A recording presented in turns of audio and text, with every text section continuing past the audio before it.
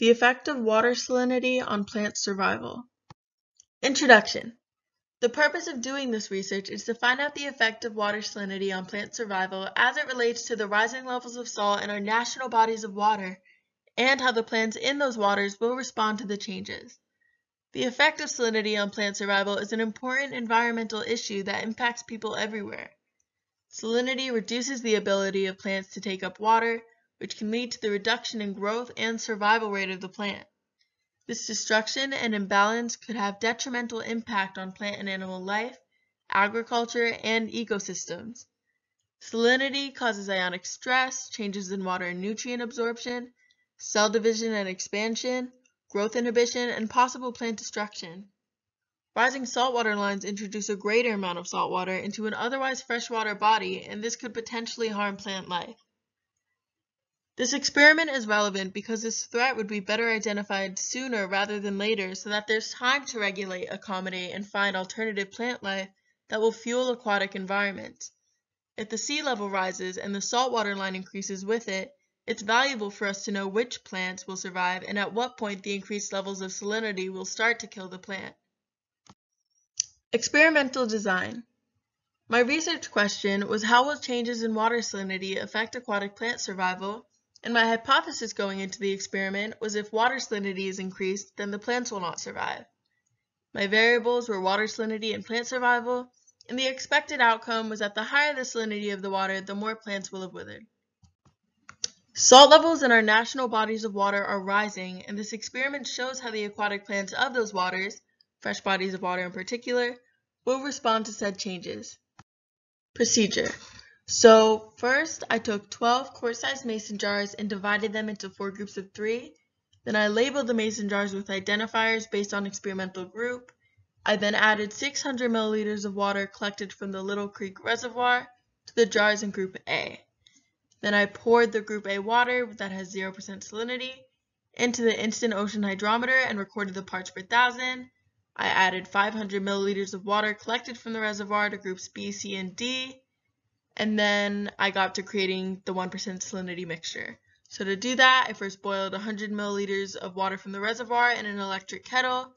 Then I poured that into a 250 milliliter measuring cup and set it aside.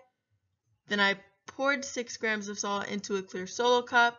I weighed the 6 grams of salt on the gram scale to confirm, and I added the 6 grams of salt to 100 milliliters of heated water that was set aside in step 6.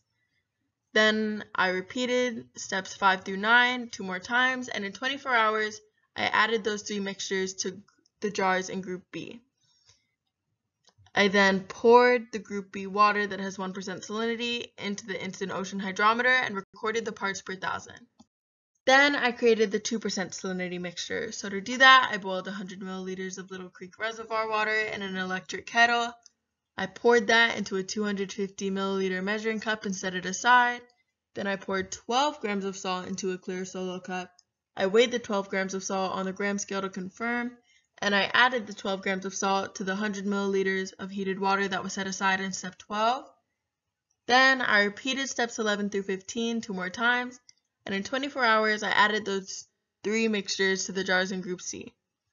Then I poured the Group C water with 2% salinity into the instant ocean hydrometer and recorded the parts per thousand. Next, I created the 3% salinity mixture, so I boiled 100 milliliters of the reservoir water in an electric kettle. I poured that into a 250 milliliter measuring cup and set it aside. I poured 18 grams this time of salt into a clear solo cup, and I weighed the 18 grams of salt on the gram scale to confirm. Then I added the 18 grams of salt to the 100 milliliters of heated water that was set aside in step 18. I repeated steps 18 through 22 two more times, and in 24 hours I added those three mixtures to the jars in group D. Then the group D water with 3% salinity went into the instant ocean hydrometer and I recorded the parts per thousand. Then I added 100 milliliters of 1% salinity mixture to the jars in group B, I added 100 milliliters of 2% salinity mixture to the jars in group C, and I added 100 milliliters of 3% salinity mixture to the jars in group D. Then, with tweezers, I counted and removed 25 duckweed plants from the collection bucket. I measured the length of the root system of each plant with a centimeter ruler, and I placed 25 plants into each mason jar. I then recorded the physical description of the plants at noon every day and observed health changes in the plants over the two-week period. Risk and safety. The duckweed and the water used in the experiment were collected in the biological field, namely Little Creek Reservoir. As I was collecting those things, I made sure to have company with me, to be mindful of my footing, and to watch out for steep drops towards the water. One way of collecting those things is by getting in a small boat, in which case general water safety rules apply and it's very important to wear a life jacket. When working at the edge of a body of water or in the field in general, it's important to be aware of weather conditions, watching one's step, moving carefully, and just generally being mindful of your surroundings. Results.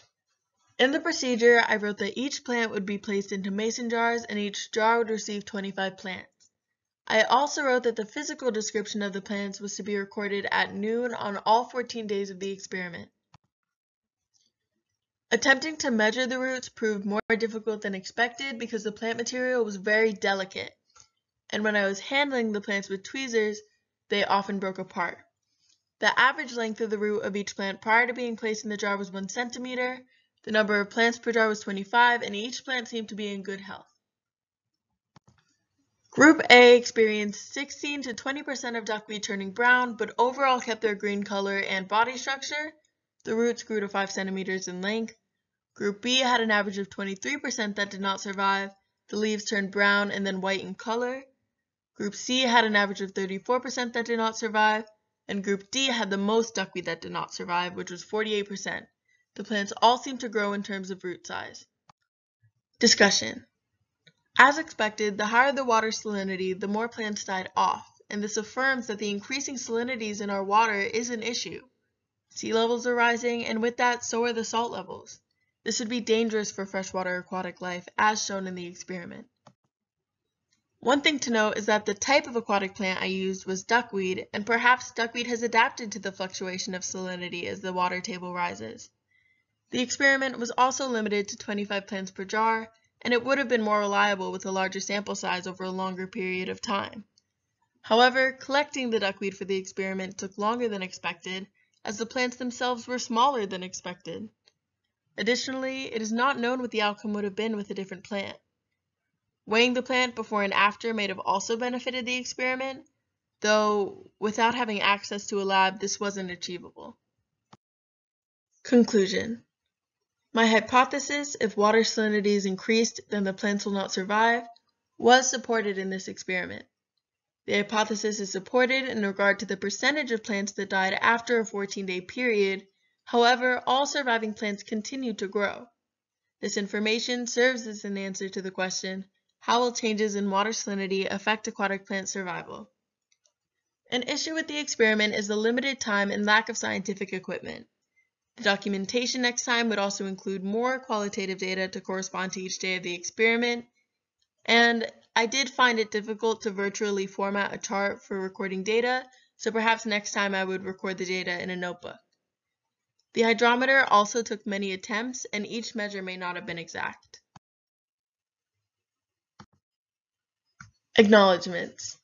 Thank you to David Gussman for sharing his backyard, specifically the reservoir that feeds into it, as this is where the water and duckweed for the experiment were acquired. Thank you.